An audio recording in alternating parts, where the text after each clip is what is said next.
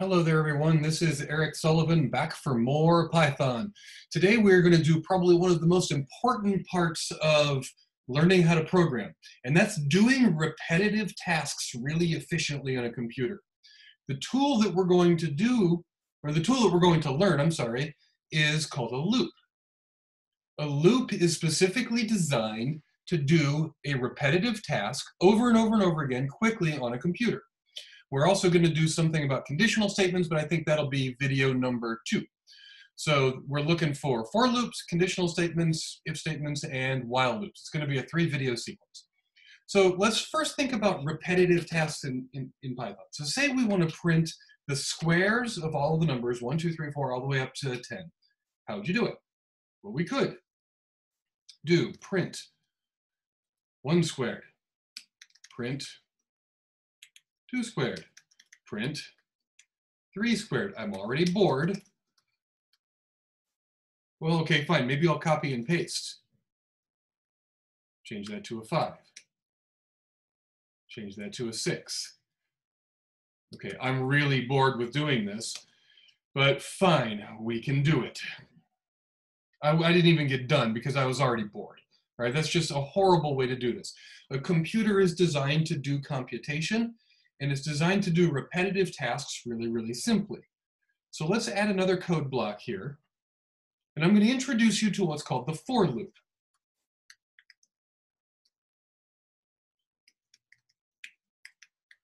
The for loop is named actually for the command that you give to the programming language. And it's actually pretty common to every, excuse me, to every programming language.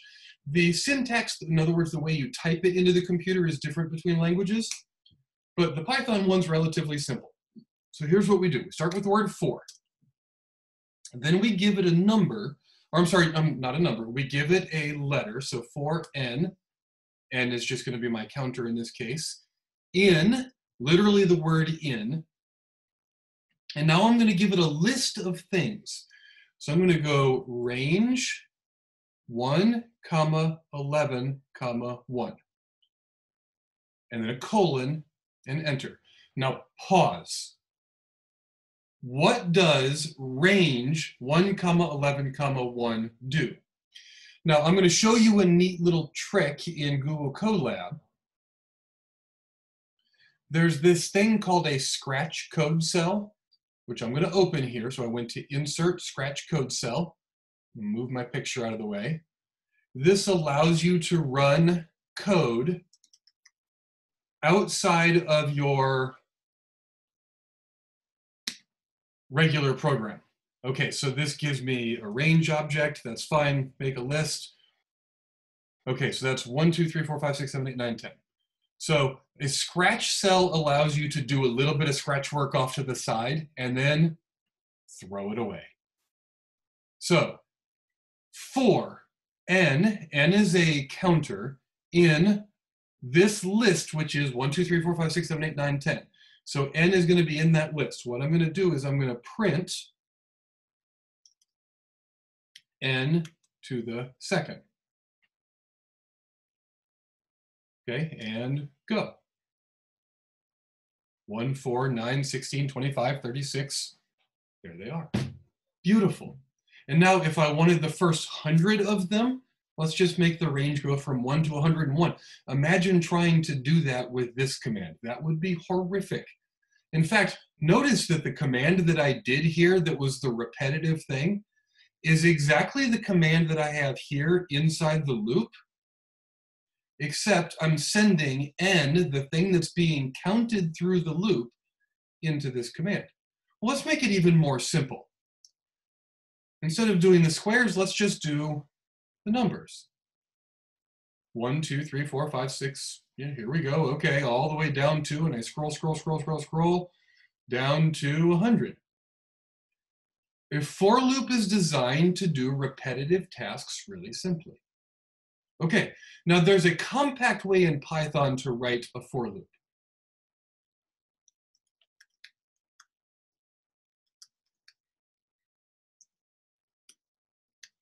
Okay, I'll call it the compact list. So I'm going to generate a list. So I'm going to do n to the second for n in range 1 comma 11 comma 1. Now there is quite a lot going on in this little line of code. n squared is what we wanted to generate for n in this list, which is a list of numbers from 1 to 10.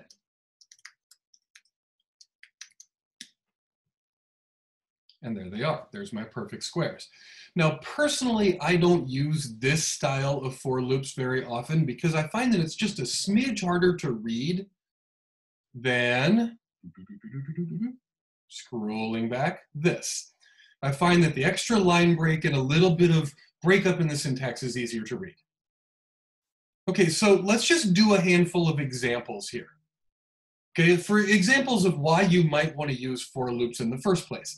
So here in example one, I have a sequence, xn plus one. So the new x is negative one half xn plus one with the initial condition starting at three. I want the first 10 terms, or let's say the first 100, or the first 1,000, or first 5 million, or whatever.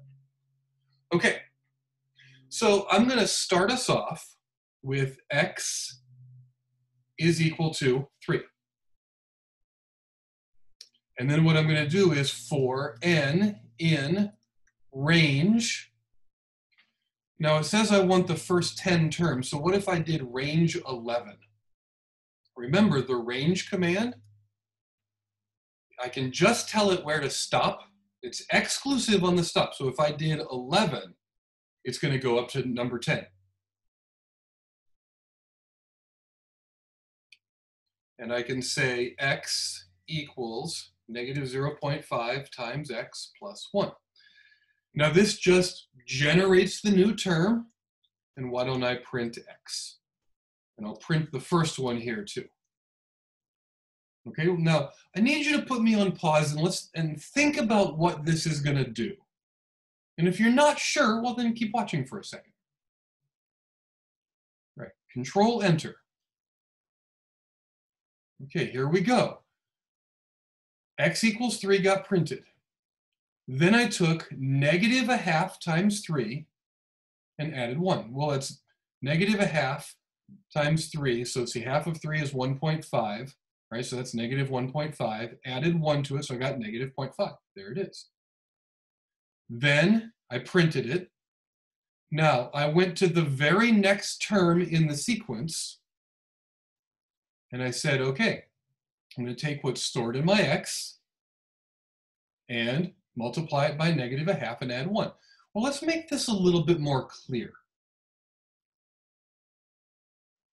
Oops, no, I actually want that there. So I've got n equals, I'm going to say n, x equals, and then I'm going to say x. This print command is hopefully going to make things a little bit more clear for me. There we go. That's what I wanted.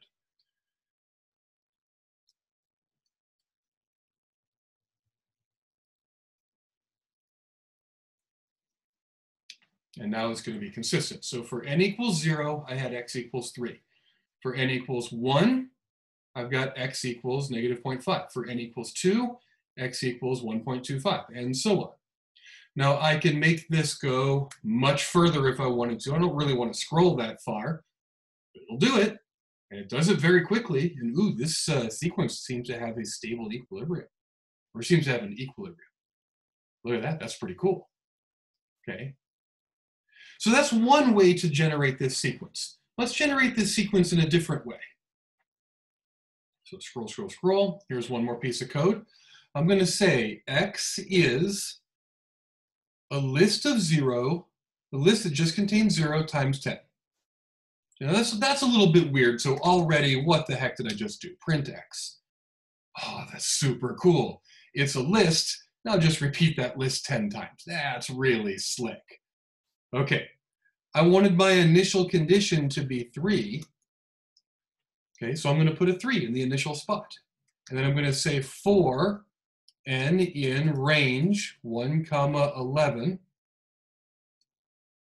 x of n Oh, wait a minute.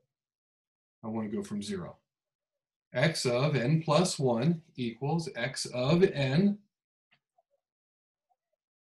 if I remember the sequence, negative 0.5 times xn plus 1.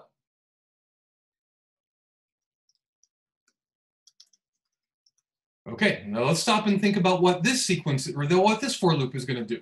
We know what that line does.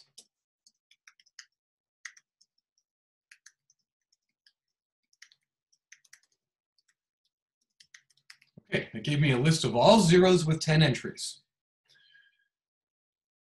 This one fills in the first entry with a 3. Now this one's going to start counting from n equals 0 and stop at n equals 10. And it's going to say, give me, in the very next entry, I'm going to take negative 0.5 times the previous entry plus 1. Okay, now let's see what it did. I had, well, I didn't print off the list initially. I should probably do that. Print x. There we go. So there's my initial list with the three filled in. Then I filled in the next one. Then I filled in the next one. Then I filled in the next one. Then the next one, and the next one, and the next one. And I keep going down, and uh-oh, I got an error. List assignment index out of range. Well, I tried to go up to the 10th one. There are 10 here, but this says fill in the 11th one.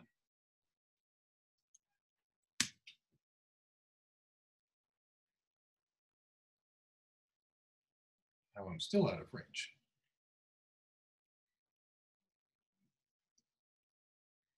Oh, okay.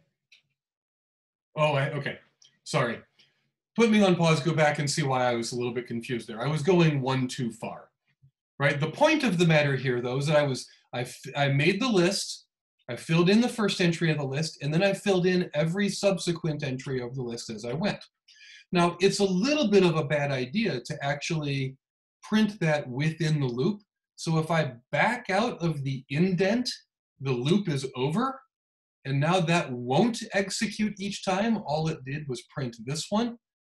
It ran the whole loop and then printed this one. So this is a, a, a, case of wanting to do a repetitive task many, many times and then print out the answer. Now one more, and I'm starting to run a little bit long here, but that's okay we're going to get the, the sum of the first 100 perfect cubes. So let's do that, right? I'm going to do that in one particular way here. So I want the first 100 cubes. So I'm going to say n is 100 numbers, right? And I'm going to say my x is, I'm going to say it's a 0 that's 100 entries long, the first 100 perfect cubes. Excuse me. Oops. And now, for n in, let's see, what should I do?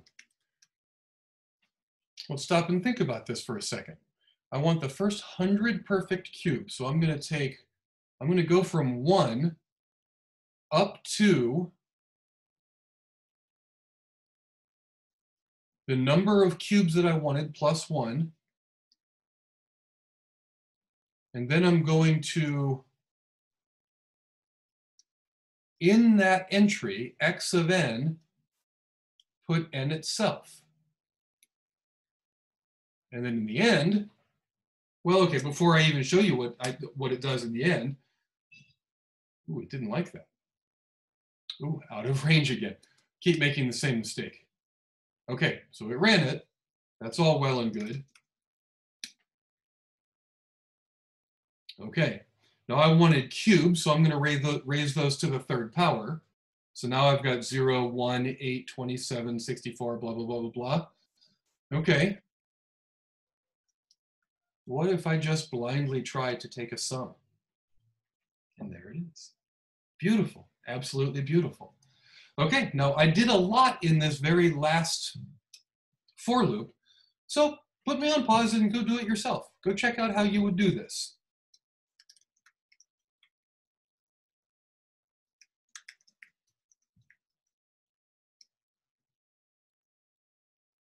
See you in the next video.